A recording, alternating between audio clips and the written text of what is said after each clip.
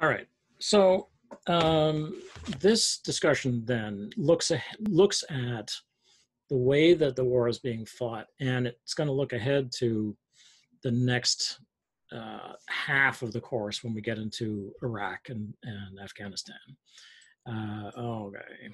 And so I have called this postmodern war and why. And so this is a discussion of that. So um, I'll give you a chance to write the stuff down if you like, or type it out, or take a screenshot of it. While I have some tea. From my Snow White mug, you'll see there she is, Snow White. Um, okay, so this is the first section, obviously, duh, the coming revolution military thought. The way that uh, the 21st century wars in Iraq and Afghanistan are being fought and have been fought for the last uh, 18 years in the case of Afghanistan um, are in large part a response to the Vietnam War, which just makes sense. It just makes sense that the next time you would hope the next time you arrive at a situation which is similar, where you're fighting a guerrilla force, uh, which uh, ebbs and flows, and which you um, you don't they don't engage in stand-up battles, and they they engage in uh, they use the so they disappear into the civilian population and all that stuff. You would hope that you wouldn't go back with exactly the same expectations that you went in with in, in Vietnam, which is uh, military tactics learned from uh, World War II and Korea. And one of the old criticisms that's leveled at war departments uh, everywhere is that they uh, are fighting. They prepare for the next war by by fighting the by looking at the last one. So basically, you know, you prepare for World War II by by looking back to World War One. And this is the problem. For instance, the probably the best example of that would be the Maginot Line, where the French were like, "Well, we'll never be, you know, we'll never be taken again uh, by surprise by the Germans like that. We'll build a, you know, a fortress, a line," and they did you know, and then the Germans got to it, they just rolled right through it. They're like, "We're this is this is a whole different thing, baby." You know, we're Achtung, baby, as the song says. You know, we're we're not stopping here. We're going right through to Paris. Um, so this is the same kind of thing. So what can we take away from Herr's text overall? Um, and he survives. So pardon me. He describes the survivor in a postmodern war as being, he says, a moving target survivor subscriber a true child of the war because every except for the rare times when you were pinned or stranded the system was geared to keep you mobile if that was what you thought you wanted on page 8 so let me go back to this again because it's quite poetic right? So a moving target survivor subscriber. So basically you understand yourself to be a moving target and but you're also a survivor. Like this is what makes you a survivor. You believe, you know, you you keep moving. If you keep moving, you can't be killed. So you subscribe to that. You're like, yeah, yeah, yeah. I'm I'm on. I'm I'm bring it. You know, that's that's me. I I'm going to keep on moving. And so, a true child of the war because the war is, uh, as I've talked about, especially by the late '60s, really. Uh, fixated or or signified by air, mobile, oh, air mobility and the helicopters. Um, because except for the rare times when you were pinned or stranded, uh, so like let's say he's pinned down in Sanh, or you get stranded somewhere, you know, presumably out in the boondocks where, uh, you know, you you can't get a helicopter. So you're like, oh, you're waiting. You got to wait for a day, two days to get a helicopter that'll fly in for resupply, and then you can go out on the empty helicopter. He says the system was geared to keep you mobile, if that's what you thought you wanted. So that you know the and this is the astonishing thing about this particular war. And as I say, it will never, I mean, maybe it'll be repeated. Now, now, of course, with drones, it's a whole different game. Um, but the idea is that basically people can can move around, can shuttle around the war zone in ways that just were unthinkable before this. And um, okay, so how might we define postmodern war?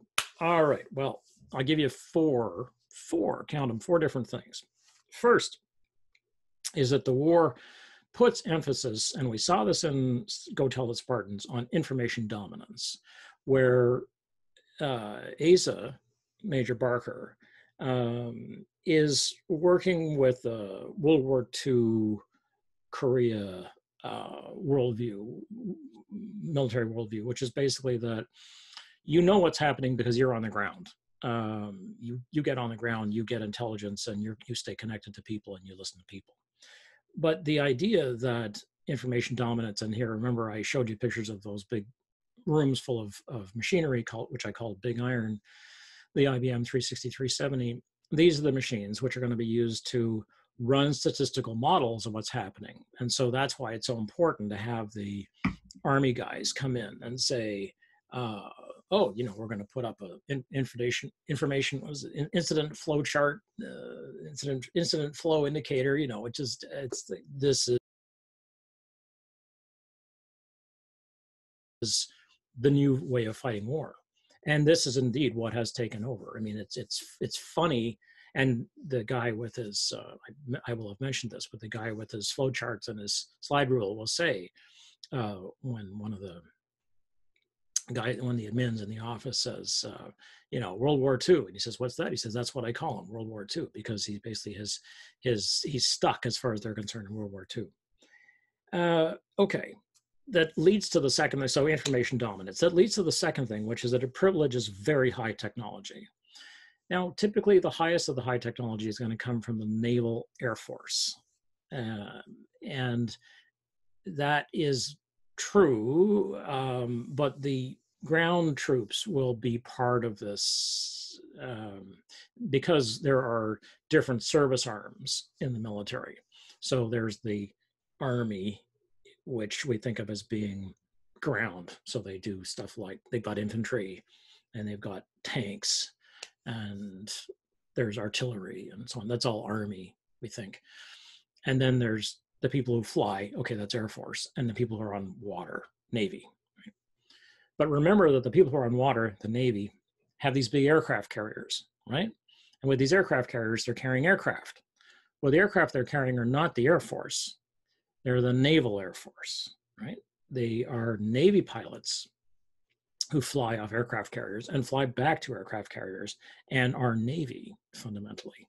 So the Navy is must, because it's doing all this complex, incredibly complex stuff, have it, it it is very interested in super high technology because it wants to make these aircraft carriers fly work better with the machines and fly better and the so the naval aircraft is uh, the, one of the most complex pieces of technology you're going to have, and so on. So, high to high technology, which will come to be located in the Navy.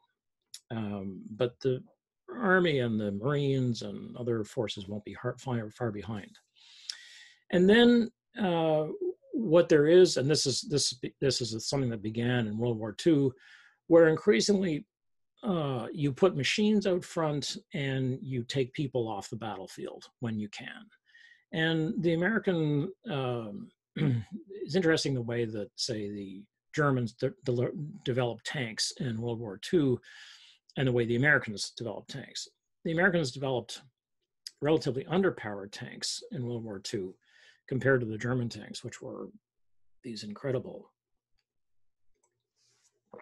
nearly indestructible things, um, especially the ones that appeared towards the end of the war, where they were just I mean, they were they were extremely powerful pieces of armor, um, and the Americans had uh, lots and lots of armor on the battlefield, but it wasn't very strong. So, what the American began the Americans began to do was say, effectively, we would rather have people in machines and protected than people on the battlefield. And after a while, like we would rather have just machines on the battlefield and so this again goes back to this discussion about well what do you value you know and so the vietnamese had people so they had to put people forward in battle and people got slaughtered in tremendous, at tremendous rates But the americans had machines so they put machines forward and uh, the crews had what was considered to be the best equipment at the time didn't mean it was the greatest equipment but it was the best for the time um, well the vietnamese didn't have that kind of equipment right? so this is the technological push that's going on. And the fourth thing is that uh, postmodern war believes in speed and flexibility and mobility. And these four, these three things will be absolutely crucial when we arrive in the 21st century. So, uh, you know, you need to sort of keep your your eye posted on these things. So, what are these four things again? They're, they're just to re- to review um, very briefly. So, the first thing is information dominance. The second thing is privileges high technology. The third thing is puts machines out front, takes people off the battlefield. And the fourth thing is speed, flexibility, mobility. Okay.